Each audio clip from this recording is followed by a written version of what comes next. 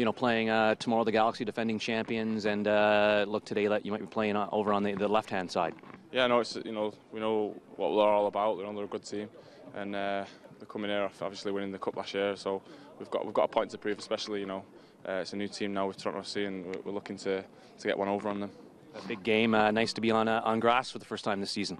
Yeah, it is. Yeah, it takes a little bit of getting used to. We've been on it all week. You know, um, it takes it's different. The bounce is different than turf, but yeah, we know we'll adapt, and, and I'm sure they will as well. Uh, you probably won't see uh, a Keane or Donovan, but uh, when they got McBean and and uh, Magee, who's uh, been a veteran for for years, playing uh, well, they do have a lot of uh, uh, different uh, prongs of attack.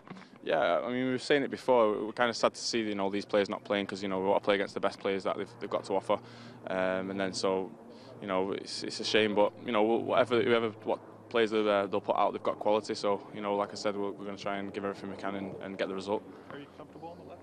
Yeah, I mean I've played there before. Um, like I said, if the coach wants me to play on the left, I'll play on the left. Um, I've played there, you know, many a time. So, um, but tomorrow's a different game. It's it's, it's in the MLS. It's, it's totally uh, a different, um, you know, it's different physically and, and, and everything like that. So, you know, we'll see how it goes.